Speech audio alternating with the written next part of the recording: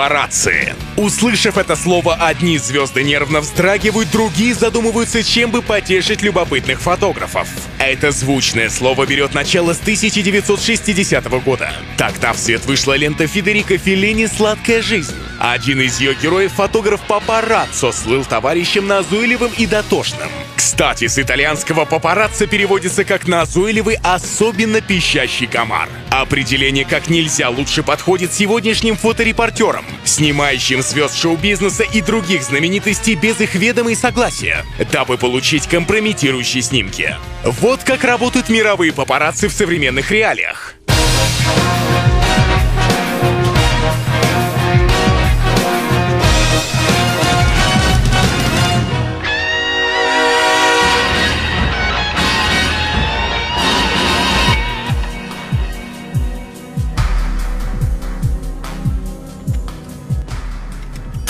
Сегодня буду выступать в роли папарацци. Все, что нам для этого нужно, это фотоаппарат с хорошим объективом, а также самое главное – это терпение. Кстати, имя человека, за которым будет вестись охота, вы узнаете прямо сейчас.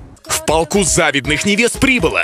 Певица Ксения нынче не обременена брачными узами. Корабли исполнительницы Виты и экс-супруга Антона разошлись по разным берегам. Однако им все же удалось остаться друзьями. А, Мы довольно-таки давно уже разошлись, просто афишировать это как-то не хотелось. Я знаю, что буду очень счастлива, когда он найдет свою вторую половинку, и думаю, что он будет счастлив, когда я найду свою настоящую вторую половинку. На часах 10 утра нам поступила информация, что Ксения будет выходить из своего подъезда. Это ее адрес, мы не будем говорить, где она проживает.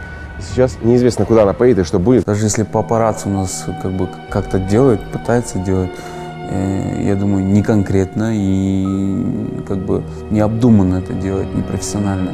Когда людей фотоешь, фотоешь в таком неформальной обстановке, это, во-первых, у них получается такой негатив. Мне особо хотелось бы притягивать весь негатив на себя. Зрители привыкли видеть их вот такими пушистыми, мягкими. На самом деле не все так, наверное, слажено.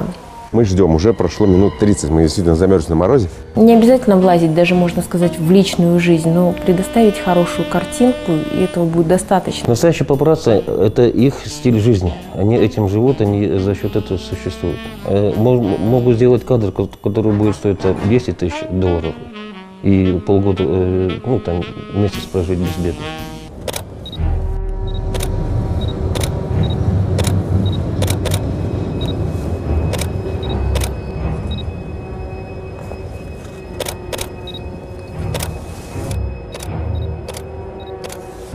Вы знаете, мы сейчас наблюдаем за Ксенией, а и, по-моему, она отправляется в сторону банка. Не знаю, ну, видимо, налоги платить не знаю, давайте посмотрим.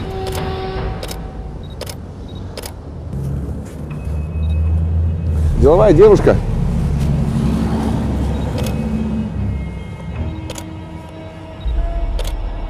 Как это делается в США?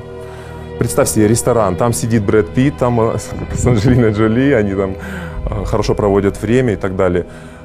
Их внутри нельзя снимать. Действительно, наши доводы, они подтвердились. Она зашла в банк, видимо, она будет платить налоги, или я не знаю, что она будет там еще делать. А, в общем, но на данный момент мы еще не сфотографируем ни одного ценного кадра, просто наборы заполнения карты памяти. Ну, чё- чё- очень холодно, кстати, очень холодно на улице.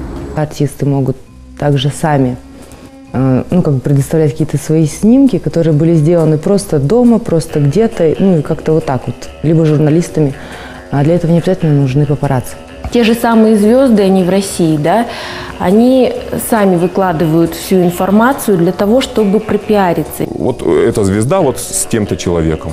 Вот, пожалуйста, они сидят или стоят и мило улыбаются в кадр. Ну какой же это папарацци? Я на сто процентов уверен, что у многих фотографов где-то в загашнике лежат какие-то кадры, которые ждут с- э, своей очереди. В свое время вот была певица, и есть Линда. Есть и снимки, где она сидит уставшая, то есть с бутылочкой воды. Материал такого рода есть, но, как правило, я его не публикую. Был случай с певицей Максим, когда она приезжала. Она одела короткое платье, она поднимает руки вверх, а короткое платьице, значит, поднимается еще выше. Мы видим голую попу Максим. Опять-таки нам приходится только ждать и ждать, и, конечно, надеяться на то, что она нас не заметит. А для этого мы сделаем все возможное. Ну, я не знаю, какая следующая точка. Может быть, она вообще домой вернется, и сегодня день у нас будет потерян, а может, поедет куда-либо еще.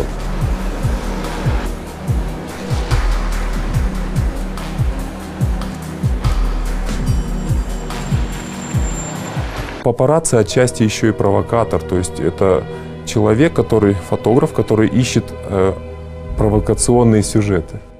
Знаете, нам сейчас очень подфартило.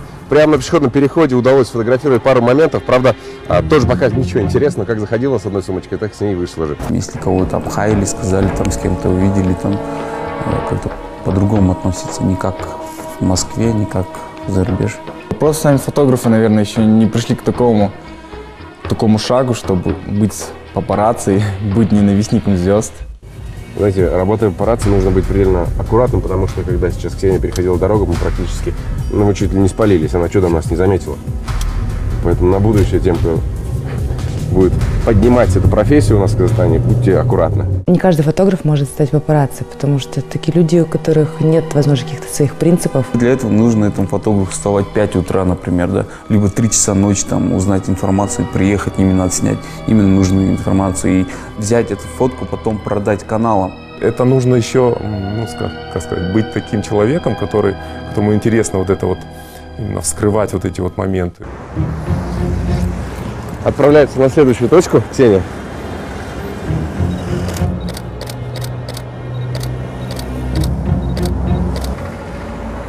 Магазин. Интересно, что она там купит. Сейчас ждем.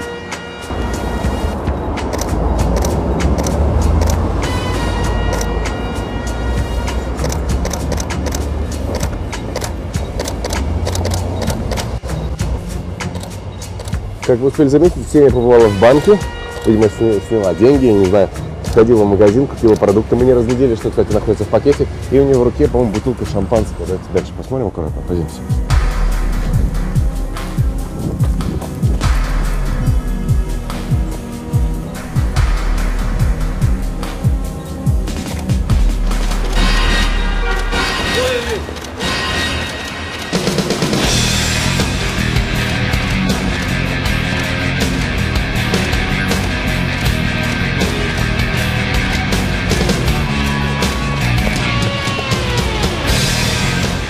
Наши звезды, они еще не знают, насколько это нехорошо, насколько это может просто испортить им жизнь. Я видел э, и не только фото, но и видеосюжеты, компрометирующие наших коллег, да, и там ставящие их, конечно, в невыгодном свете.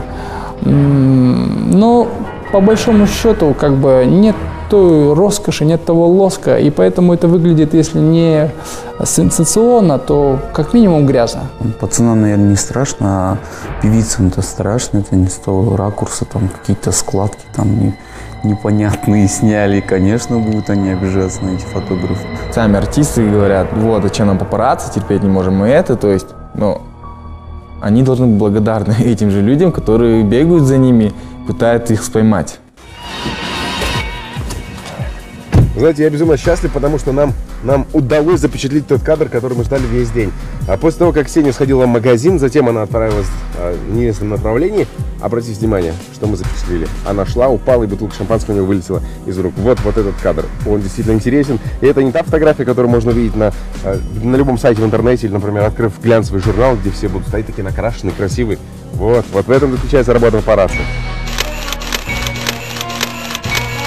Если даже и так сделать, там придет, скажет, там, там заплати деньги, и как бы я могу сам даже сказать, иди, можешь отдать, это для меня пиар, черный пиар.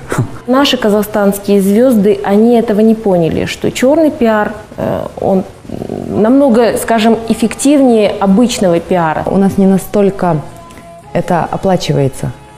Риск и, ну, он несоизмерим, допустим. Это все равно это очень сложная и тяжелая работа. У нас издания вообще не готовы платить за что-либо. Это делается на условиях бартера, то есть мы снимаем обложку, там развороты, нам дают какой-то модуль в издании.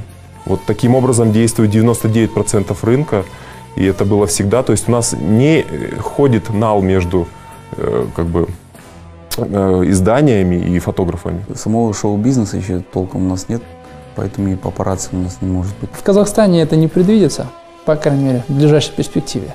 Менталитет у нас другой. И я считаю, что это хорошо. Не нужно их создавать искусственно или пытаться повторить только потому, что у них есть, а у нас нет. Мы другие, система другая. Находясь весь день в режиме ожидания и заполучив всего лишь один кадр, который, кстати, неизвестно, будет ли вообще хоть кому-то пригоден, нам неизвестно. Могу сказать лишь одно. Насколько востребована будет профессия папарацци в Казахстане, покажет время.